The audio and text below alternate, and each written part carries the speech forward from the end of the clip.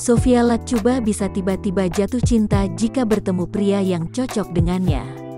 Apalagi jika kemistrinya pas, Sofia Latjuba bisa langsung merasa nyaman dengan pria tersebut. Akankah Sofia Latjuba akan kembali menikah untuk ketiga kalinya dan melepas status janda?